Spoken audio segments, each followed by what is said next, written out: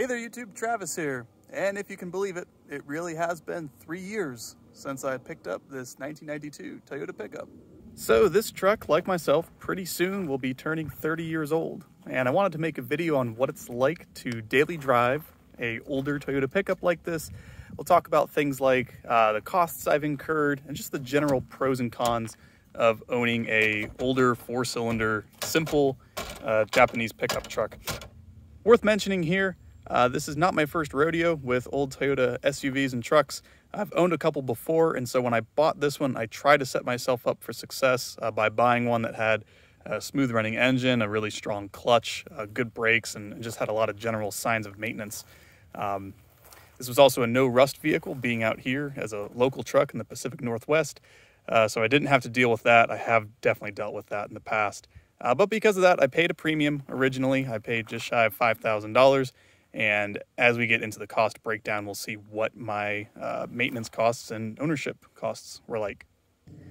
But before we get into costs, let's go over, uh, at least in my experience, my pros and cons of uh, daily driving a 30-year-old Toyota pickup in the year 2021. So this part of the video will be useful if you're in the market for a sub $5,000 pickup truck uh, for light duty tasks. So with a truck like this, it's actually something I consider to be a pretty solid investment. Um, my hope is that with proper maintenance and upkeep of the truck, that I will be able to get most of my money back uh, when I go to sell it. You know, the availability of a, of a simple utilitarian truck, it's something that's really hard to find. A lot of modern pickup trucks are really expensive. A lot of used pickup trucks are really expensive. Uh, so a truck like this will hold its value very well. Next thing is, can this truck actually keep up in modern traffic? Well, the acceleration certainly leaves something to be desired. You're playing with a 110-ish horsepower four-cylinder, but between the stick shift um, and the factory wheels and tires, which I put on the truck, it had a three-inch lift and uh, some big meaty tires on it when I bought it. That was really hurting my top speed. As of right now, I can keep it above 80, between 80 and 85 is, is about where we max out, which is plenty acceptable for modern highways. Now next is maintenance items and the ability for the casual hobbyist uh, to fix them. Uh, there are not many fancy things that can go wrong with the truck. Just like any old vehicle, there are going to be issues, but you're setting yourself up for success pretty good if you have a manual transmission, manual transfer case, manual locking hubs for the front wheel instead of something, you know, vacuum actuated. Uh, most things under the hood are pretty easy to reach. Spark plugs, wires, other things like the radiator throttle position sensor. And also, more importantly, is that, you know, an old Toyota truck like this has a really good following. There's a lot of forums, Facebook groups, um, all sorts of information on the internet, YouTube videos that really make it easy uh, to maintain a truck like this. Next on my list of pros is the hauling capacity. Again, I do a lot of light duty stuff with this truck. I haven't yet found anything that I can't move. Um, things like hot tubs, complete sectional couches, fridges, um, stoves and washing machines, certainly plenty of mopeds um, and many dump runs uh, for my, my house I purchased. Um, so for me, you know, this is, this is great. If I ever needed to do anything more than that, you know, if I needed an actual full-size bed or some serious towing capacity, um, I would definitely look at something a little bigger. But again, for the hobbyist and just kind of the everyman for doing pickup truck things, truck of this size is excellent. The real unicorn combination for these 90s Toyota trucks definitely seems to be uh, the extended cab, which first became available in 89, um, along with everything else, the manual uh, transmission, transfer case, 4x4. But to be honest, living in the city, being able to park this single cab pickup uh, is really easy having a bench. You can fit three people. It is lots of fun. Um, and I actually don't mind not having the extended cab. So if you can find a single cab for a little cheaper, um, it's it's uh, definitely something worth considering. So those were some pros, uh, some some really good benefits of owning an old Toyota pickup truck and driving it daily. Uh, what are the cons? So probably first on my list is the ride. Um, this truck is is a real rough riding son of a gun. It uh, it's very bouncy going down the road. You've got your grab handles for driver and passenger uh, to grab onto. It's the kind of truck if you picked your parent up in it from the airport, uh, they would complain about it immediately. It is quite noticeable how rough the ride is. Um, it's just something you get used to. but it's really also something to seriously consider if, if something like that is, is important to you. So other things, um, we're going to go into interior stuff now. So firstly, um, this actually was a factory air-conditioned option truck. Um, however, at some point, someone along the way removed the belt that goes to the AC compressor. So as much as I'd like to add it, it's going to be a big project, a bit of a pain. I have to decide whether I'm going to buy some R12 refrigerant off of eBay um, or whether I have a shop convert it to R134A and also dive into many other things that could be missing or wrong with the lines, the compressor, who knows. So that's a project for another day. Um, a lot of these trucks were not optioned for air conditioning, so that's kind of curious that this even has it. So if you're shopping for a truck, you may find it. Never had it from the factory. Other things that are just a result of this being a minimalist kind of truck uh, so you have no intermittent wipers. Um, the wipers are either all the way on or um, slowly on, but there's nothing, there's no intermittent wipers. Uh, I did buy a wiper switch from a higher trimmed 4Runner of this era, but in order to install that, it's not just plug and play. You have to modify some of the pins that the connector goes into. Um, it's just a bigger project and, and one of those things that uh, is waiting for a free weekend. Other things, this steering column uh, is not adjustable. This was an option on some of the trucks. This one was not optioned for it. So uh, you can move the bench seat back and forth a little bit, but you kind of do just have to get used to the driving position that this steering wheel uh, asks of you. So other things, uh, safety is definitely a consideration here.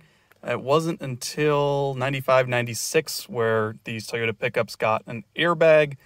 Um, so you have no airbag, no anti-lock brakes. Um, you've really just got uh, no crumple zones either. Um, again, that's something that, you know, if you own any older vehicle, you'd probably have to accept.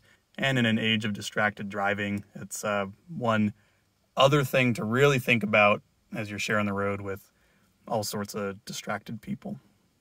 Other things, uh, this is a very high theft vehicle. Uh, it's very easy to steal these pickup trucks. I do what I can, but I'm also secretly wondering if it's not a matter of if, but when, because uh, that is an issue where I live.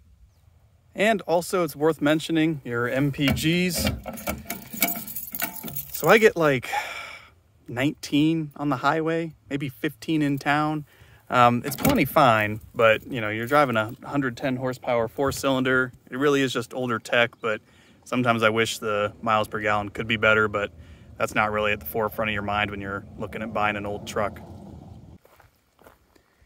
Now the last thing here, and I'll mention this as both pro and a con, is the 22RE. Um, it's a pro because these motors definitely have a pedigree for lasting a really long time, many hundreds of thousands of miles, being very easy to fix, having great aftermarket support.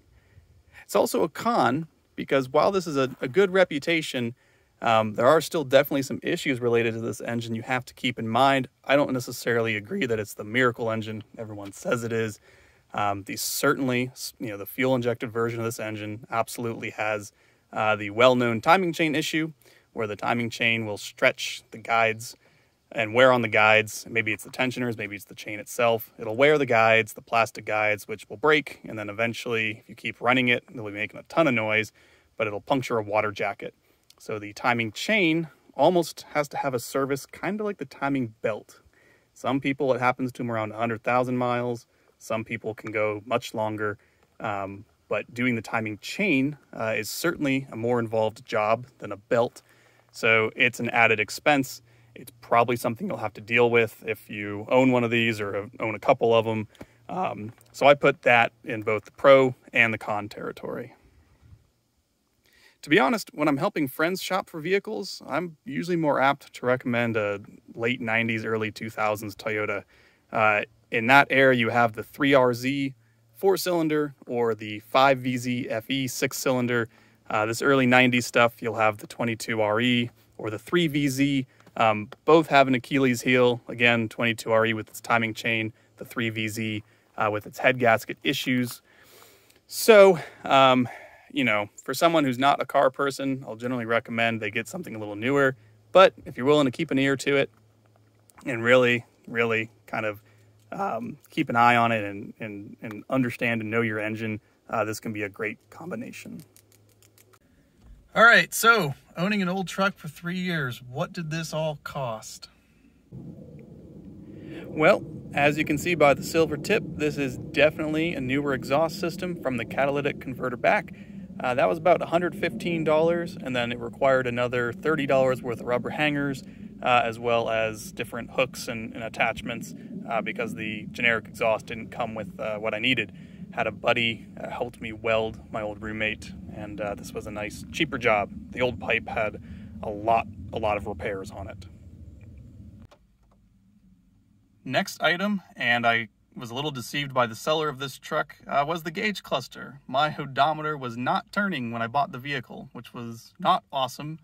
Uh, thankfully, I pulled a Carfax and it had gone through emissions testing a few months prior, and, and the mileage read a little lower then, so I knew it had to have stopped working recently, but still, I had to eBay a new cluster. Uh, these were cable-driven speedometers up until about 92, and then for 92 to 95, uh, they are electronic. Cable goes to a little unit which this gauge cluster plugs into. So I had to buy a very specific cluster, and then uh, I had to first off, that new cluster found out that the speedometer was not working on that one, but the odometer did. So I basically took two and made one. I tried to fix this odometer before I bought the eBay unit. I redid solder joints. I looked at just about everything I could, and I honestly couldn't make it work. So I had to buy another unit that was 250 bucks because it has to be a 92 to 95 unit. We have some nice KYB shocks all around, front and rear. Uh, I was in a place where I was super busy at the time and paid a shop to do all four. That was $650. Felt a little foolish later on. We did a project where we took the lift and tires off this truck and I realized how easy it is uh, to do shocks, but that's a cost. The old rear ones were original and they had definitely some cracking for the rubber and the fronts were aftermarket, but they were not in great shape. So I had a symptom on this truck where the low and the medium fan speeds uh, did nothing, only high worked. Um, it ended up being the blower motor resistor, which I don't know if I can quite jam my camera up there to see, um, but it is right under the glove box, quite easy to access. That was a $15 part. Other than that, it's been regular maintenance items. Uh, I had all the fluids done except for the uh, diffs and the transfer case and the transmission because that's just gear oil. Um, so your power steering fluid, your brake fluid, your clutch fluid, um, coolant, and an oil change, of course, that all ran me around $400.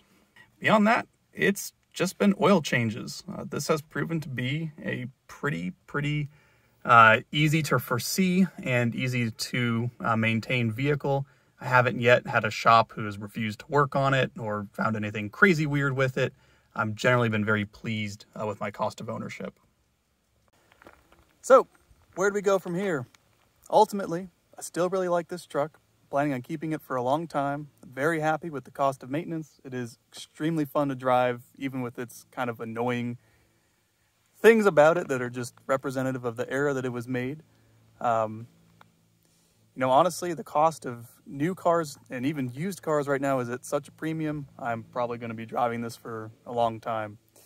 Anyway, I hope you like that uh, kind of retrospective on what it's like to daily drive a 90s Toyota pickup, uh, my cost of ownership, and general experience. Okay there, YouTube. Until next time. All right, everybody. You're also going to hear my favorite sound in the world. This might be some nostalgia when you've left your keys in the ignition and you open the door. that's definitely an old car thing.